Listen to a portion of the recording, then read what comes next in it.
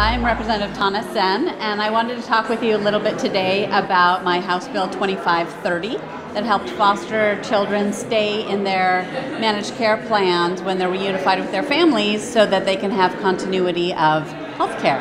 And I wanted to share a little bit uh, of the context of that by talking to some of the people affected and very involved. Um, so, maybe starting with you, Andrea, can you just tell us a little bit um, why coordinated care was interested in this bill?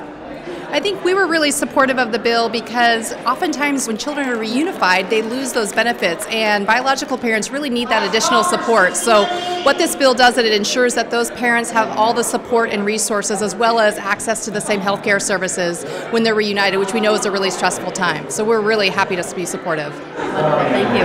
And I know, thank you so much for coming down and for joining us for the bill signing. What inspired you to come down and, and uh, be part of that?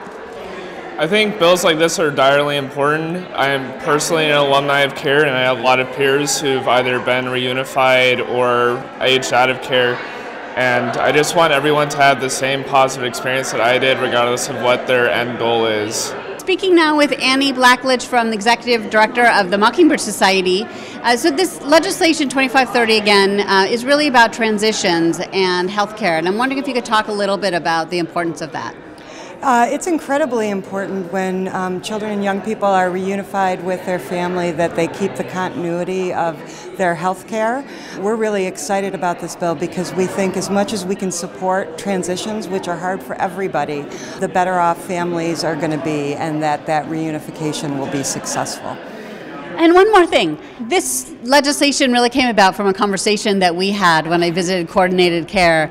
And so I just have been amazed as a legislator for five years now how just speaking with constituents, speaking with people, going on site visits really generate important policy ideas. And so just want to invite people from my district to come and see me. And you never know, something might become a bill and turn into law that really helps people in our communities and our state.